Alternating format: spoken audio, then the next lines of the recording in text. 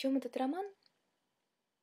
Это роман о гениальности, в первую очередь о любви и нелюбви, и о сочетании гениальности и любви и нелюбви, пожалуй. А еще это роман о семье как о высшем проявлении этой любви и нелюбви. И о механизмах, которые позволяют людям вроде бы не родным сделаться родными, и наоборот, механизмах, которые разделяют людей родни, родных по крови. Этот роман, он очень красивый.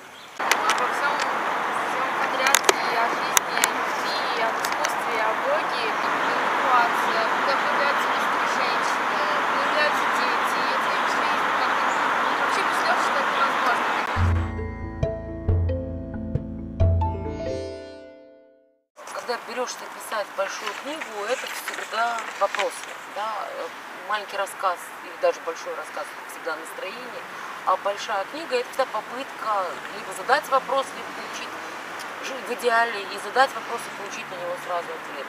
Мне было интересно сразу несколько вещей. Во-первых, безумно интересно, что такое гениальность. Да? Потому что мы, мы все сталкиваемся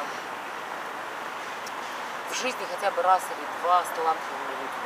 У всех у нас есть способности, способностей не бывает. А вот что такое гениальность? Да, вот вообразить себе человека с таким громадным даром. Человека, который практически уже не человек, которого, которому, вот которого нам трудно понять, да? которому самому трудно встроиться в обыденный мир, потому что он выше его на сто голов. Вот понять природу этой гениальности и ощутить все, что ощущает человек, наделенный таким даром, вот ни за что. Вот он гений, да, а хочет быть самым обыкновенным человеком. И хоть немного пожить в шкуре такого человека и понять, как он существует, оценить всю эту боль, весь этот вес, весь этот груз дара. Вот мне было очень интересно. Еще было очень интересно и понять, и показать, как менять любовь нас всех. Вот Галина Петровна, которую обожает Линд, Линта не то, что даже она его не выносит, он для нее омерзителен, как некая насекомая. Но этого же самого Линта очень любит Марусю. И один и тот же человек для двух разных женщин представляет как просто два разных персонажа. И так с каждым героем книги, да, в глазах другого персонажа, благодаря любви или не любви, он становится совсем другим. Это очень интересно. Те, кого мы любим, могут быть ненавистны кому-то другому. Нам это трудно представить. Но это действительно так. Это, мне казалось, это очень интересная задача.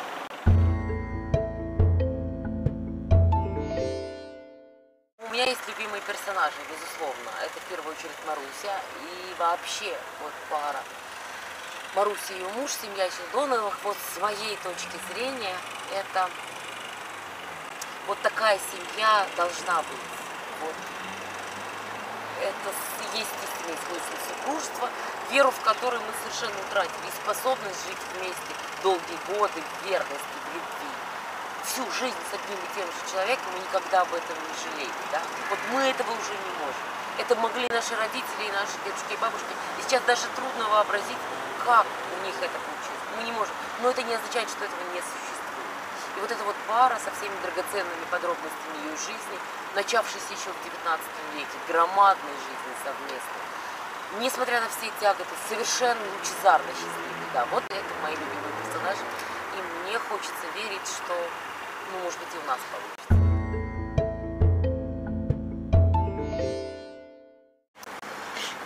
Деле, вымышленных и подлинных персонажей в книге поровну. Я как-то сделала это специально. Мне нравится, когда исторические персонажи и герои вымышленные э, живут одной жизнью и соседствуют. Мне кажется, что это справедливо, потому что с точки зрения большой истории жизнь Берии, Сталина, Иоффе, ну кого угодно, да, кого угодно из реальных больших людей, попавших в энциклопедию, это жизнь подлинная, а наша, микроскопическая, незаметная, она как будто и не существует. Она как будто вымысел для всех, кто нас не знает. Это несправедливо. Я хотела дать вымышленным, частным историям, маленьким. Хотела дать им шанс. Хотела, чтобы эти вымышленные маленькие семейные истории с их тайнами, с их трудностями, чтобы они зазвучали в том же историческом масштабе, в котором звучат э, подлинные биографии невымышленных великих людей. Мне хотелось дать нам всем шанс, каждому из нас, потому что частная семейная история каждого из нас, вот только она и делает большую историю по-настоящему настоящей, да, по-настоящему большой. И да, история моих мамы, папы, дедушек и бабушек совершенно не вымышленная.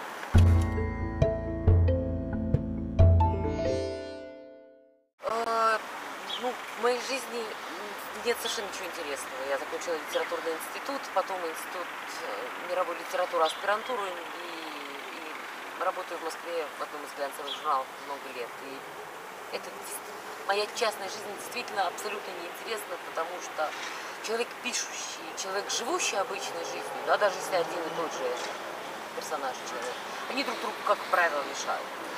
Человек живущий хочет жить, человек пишущий хочет писать, и читателю, безусловно, мне кажется, любому читателю гораздо интереснее и приятнее иметь дело с э, пишущей ипостасью.